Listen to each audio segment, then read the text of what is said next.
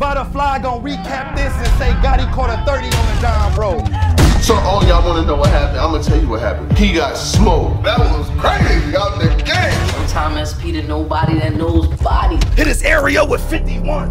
Everything in the butterflies. When you start rapping, You already know what it is, man. No, no big intro needed. Let's just get right into what we need to get into. Salute to the subscribers, first of all. You know, without you guys, we are nothing. Salute to my guy Showtime SP. We got a couple more joints that we did that will be dropping. You know, we've produced some some pretty good content, I must say. Um, salute to him for being back in the fold, getting to what we get to. But uh, I hadn't got to talk to y'all this week yet in the car. You know what I'm saying? It's in the car. That's why I did this. Reed, you knew I was. It's in the car. Salute to you and everything that you got going on. I seen your announcement dropped versus Tsu Surf, but you had said it. I mean, not um, Tsu Surf, Rum Nitty. Your announcement versus Rum Nitty had dropped, and um, you know, you had said something on the on the IG live not too long ago, which is the reason why a lot of people already knew. But it's all good. So you're gonna have people that's gonna say this. Why is Reed getting booked versus anyone or Rum Nitty or whatever the case may be? Now, when you look at things from a legend's perspective, Reed Dollaz is a legend. He was doing millions of views before we even knew what millions of views was on YouTube. You know, he will bring a fight. That's the one thing. Like, you could say what you want as far as an artist goes, but heart cannot be measured. Fight and what he's gonna bring, those intangibles are always there. And every battle that Reed's had, he's fought. You know what I'm saying? I mean, I okay, y'all might want to do the John John, but that was the first time he even came around the corner. But since then, he's fought. He's either fought or won his battles. Won, fought, debated, or you can't really feel too bad about. Now, him versus Rex, he killed Rex.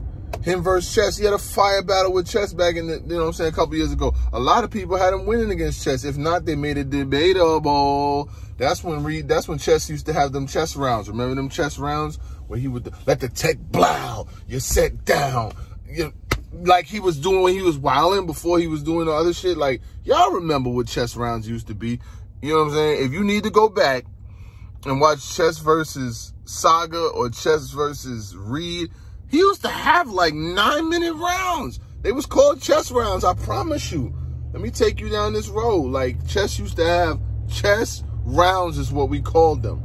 So what's happening now? If he comes with three chess rounds, the old school joints for his shine, nigga, what?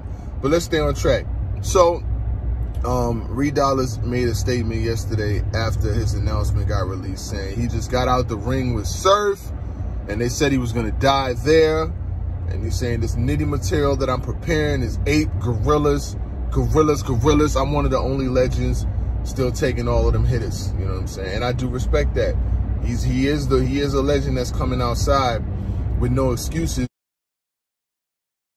and ready to fight. You know? Now, Pat Stay jumped in them same comments and let him know that uh he takes this stuff really serious. Tsu Surf doesn't.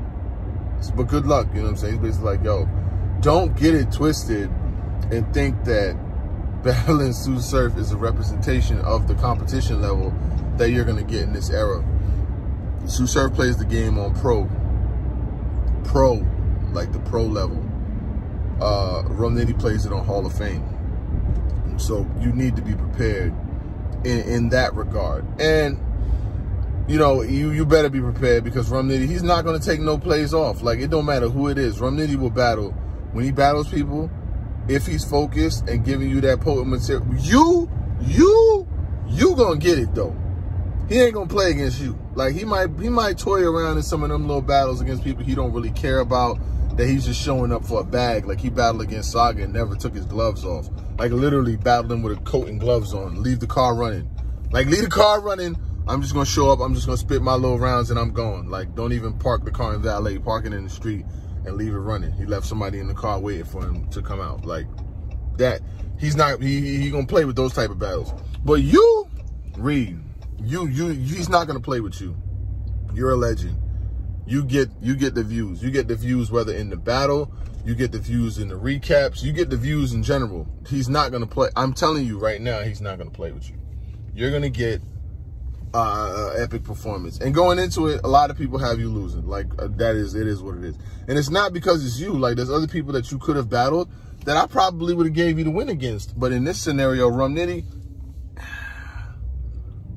it's very, it's very few battles that I'm picking against Rum Nitty. I ain't gonna lie to you. It's very few battles going into it that I'm gonna pick against him because it's just what he's able to do. You know what I'm saying? Like as far as with them punches and with that performance, it's very, very, especially in them small rooms. Who not many people are picking against uh, uh, uh I'm sorry, that's just not gonna happen. Um, but with Reed, you gotta you got to give him props for the confidence and the, for the fact that he's even willing to come outside. Outside, outside, outside. What was that? What was that? What was that? I ain't joking. I ain't joking. I ain't joking. I ain't joking. So yeah, I was saying that uh, you are outside, so you do get props for that. But in regards to Reed Dollaz, uh, you're gonna have to bring it. Now, what I did say in one of my last joints before your Tsu Surf battle, I felt that you needed to get a little bit more with the times. And I will say in your second round, and some of your material versus Surf, you you definitely got with the times. You was way more updated. Uh, everybody, one of the lines that a lot of people remember from the back. I think, well, I'm not being biased, but I could be biased in regards to the line. But the Area 51, that was real relevant. And with the times, it's in my intro. It's in my intro, motherfucker. It's in my intro. Uh, I like that. I'm, I, you know what? I was just watching you versus Tsu Surf the other day. You know what I'm saying? And I like the half moon over the wave. That the like, come on, you you come with that type of energy and bringing consistent line after line with bars. This is kind of a punch era, though. You know what I'm saying? And the thing is, it's a punch era, but you're battling the best puncher in the game. Like the what people love the most, a lot of people, is punchlines and you're battling against the best one in the world. Like Rum Nitty is the best puncher in the world. We're not gonna do that. I don't want to hear about no conceited. I don't want to hear about no B Magic. It's Rum Nitty right now. It is Rum Nitty. Uh, Magic did his thing in the past. He's got battles or whatever the case may be. He's got a rookies versus vets coming up. I heard it's against a female, uh, Coffee Brown. So yeah, like they not treating Magic like that right now. He's battling against a female. I mean, I guess that's cool, but at this point in your career, there's no way in hell. Magic, if he was like he was supposed to be, he'd be on Summer Madness. But that's a whole nother blog starring whole different people. But Reed, Reed, Reed. I definitely like what you're doing. I also seen that they got Shotgun Suge versus Young Cannon coming up and like Drugs versus Mr. Wavy. Shotgun Suge versus Young Cannon. I'm like, Shotgun Suge just battled like two weeks ago and he didn't do well against Jaden Nightwing and to bring them back so fast. I know caffeine on these niggas' helmet, like, yo, we need battles every week. We don't care what y'all got going on. But y'all gotta, I, I said it in other blogs. They gotta get other artists that ain't got nothing going on that we ain't seen, like, that could be prepared. But Shotgun, Young Cannon, Shotgun Suge, I guess, like, I don't, I don't, who asked for this? Who asked for this? But we'll see. You know, Shotgun Suge been doing good with himself. He's been losing weight, you know what I mean? So hopefully it'll bring a more focused performance. And then Young Cannon is Young Cannon. We know what we're to get as far as with a Young Cannon. 2-1 uh, either way. And uh, Wavy versus... Moving on. Um, so yeah, Reed Dollaz. I was like, um, I like everything that you bring. Uh, I like your energy in 2020. Uh, the fact that you coming outside is to fight against vets is another dope thing.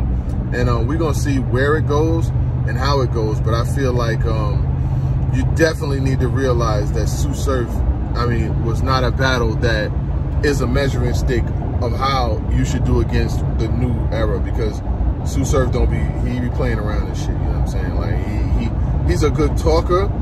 He has decent battles at times, and then he has other battles that are head scratches, but he's always going to get booked because of his name. So while I fuck with his music and I fuck with his movement and I, you know what I'm saying, as far as like with his professional side, outside of battle rap, I'm talking about like the music side and all of that.